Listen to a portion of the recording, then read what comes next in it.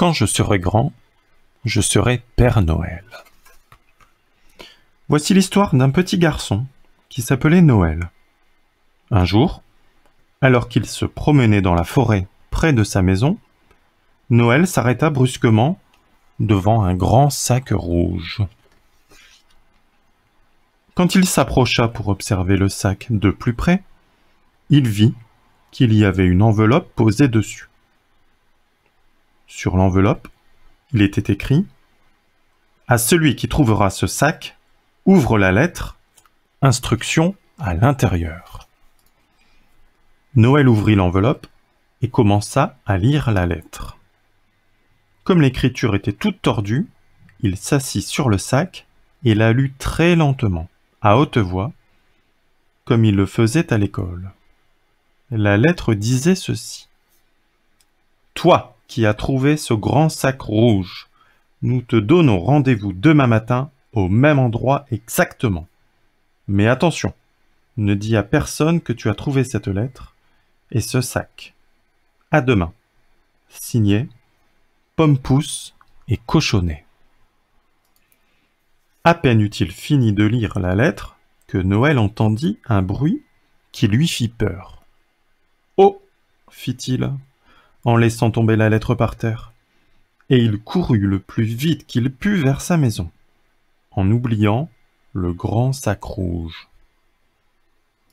Quand il arriva à la barrière de sa maison, il voulut retourner chercher le sac et le cacher dans sa chambre. Mais en regardant vers la forêt, il n'en eut pas le courage. Il faut dire que tout était blanc et qu'il ne voyait même plus dans quelle direction aller pour le retrouver.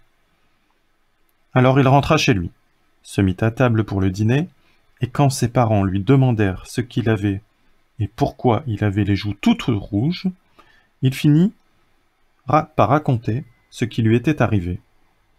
Mais il s'arrêta juste à temps et dit Mes joues sont toutes rouges parce que c'est ma couleur préférée. Ensuite, il alla se coucher. Pendant la nuit, il rêva qu'il était un magicien et qu'il était dans un grand lit rouge, tout seul, au milieu de la forêt. C'était un rêve agréable, mais qui faisait quand même un petit peu peur. Heureusement, le lendemain arriva très vite. Dès le petit matin, Noël retourna au bois. Le sac rouge était encore plus grand que la veille. Il y avait une lettre posée dessus, Noël l'ouvrit précipitamment et lut. Mon cher Noël, nous t'avons aperçu hier soir. Nous étions déguisés en oiseaux et en lapins.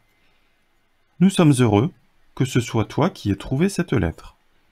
Nous te prévenons, ce sac est très très lourd. Si lourd qu'à trois, nous ne pouvons pas le porter. Il faut dire que nous sommes des nains. Alors s'il te plaît, peux-tu nous aider? Les trois nains magiciens, Pomme, Pouce et Cochonnet. Noël essaya de soulever le sac et en effet, il put à peine le bouger. Il décida de le pousser jusque chez lui. C'est alors que les trois nains arrivèrent. Ah dit le premier. Te voilà enfin, bonjour. Il parlait très vite. Moi je suis Pomme, le chef. Lui, c'est Pouce. Lui, c'est Cochonnet. On l'appelle comme ça parce qu'il mange comme un cochon. Je vois que tu as bien lu nos lettres, voilà. Nous sommes des nains fabricants de jouets. Nous avons traîné ce sac jusqu'ici, mais nous ne pouvons pas aller plus loin. À l'intérieur du sac, il y a des centaines et des centaines de jouets. Tu comprends à présent pourquoi il est si lourd. Hein? Pour le porter, il faudrait être grand, et toi tu es assez grand. Alors, voici ce que nous te proposons. Pomme dit à Noël, de se pencher très bas, et lui chuchota quelque chose à l'oreille. Oh oui, dit Noël, une fois que le nain eut fini de lui parler. Mais c'est un secret, hein, n'oublie pas, dirent les trois nains d'une seule voix. Au revoir et à demain.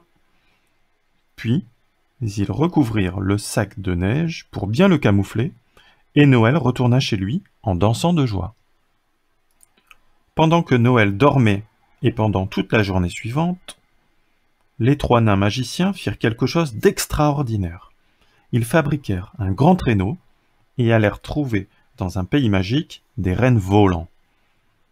Et dès le coucher du soleil, ils revinrent frapper au carreau de la chambre du petit garçon qui dormait déjà. Hé Noël, ça y est, nous sommes prêts. Réveille-toi. Mais réveille-toi, dis donc. Nous sommes en retard. À présent, à toi de travailler. Mais n'oublie pas ta promesse, hein. Ne dis jamais à personne ce que nous allons faire. Non, non, dit Noël, en s'asseyant sur le bord de son lit.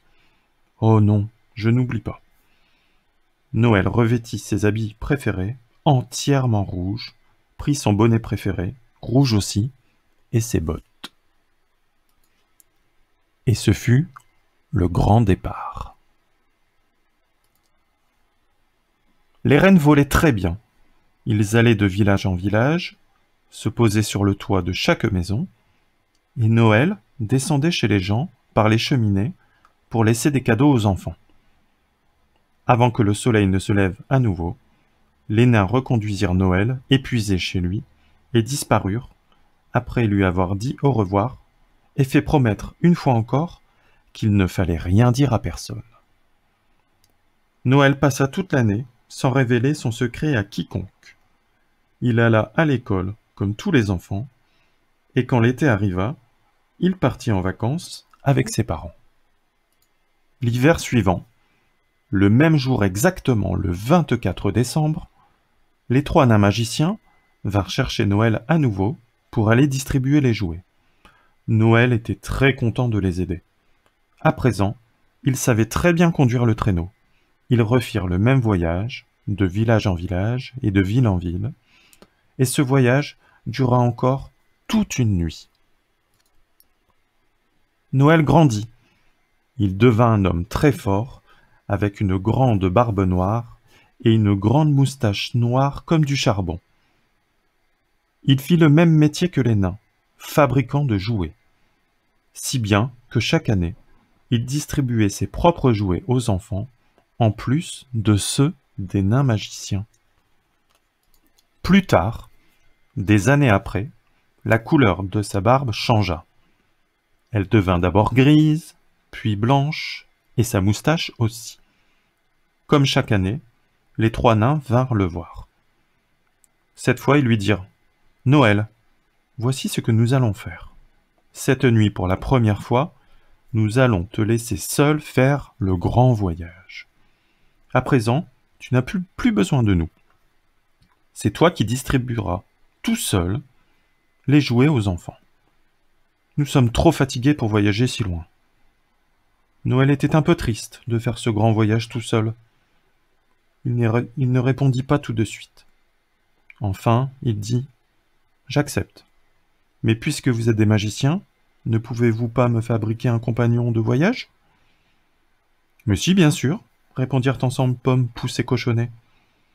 Et en effet, Pomme fit un geste magique et sortit de sa capuche un tout petit bonhomme assez drôle, tout vert, encore bien plus petit que les nains, qui vint s'installer près de Noël. Il avait un air très gentil, un peu l'air d'un chien, mais sans moustache. Il avait seulement une barbe. Noël l'appela Médor. Noël partit faire sa tournée, tout se passa bien. Et depuis, tous les 24 décembre, accompagné de son petit copain tout vert, qui lui raconte des tas d'histoires, et qui, de temps en temps, conduit même le traîneau, il fait la distribution des jouets dans le monde entier. C'est ainsi que Noël, le petit garçon tout habillé de rouge et qui aimait se promener dans les bois, est devenu le Père Noël, que tout le monde connaît. Et savez-vous quel secret les nains magiciens lui ont dit à l'oreille le jour où ils l'ont rencontré? Noël, si tu nous aides chaque année à distribuer les jouets, alors tu deviendras le Père Noël et tu ne mourras jamais.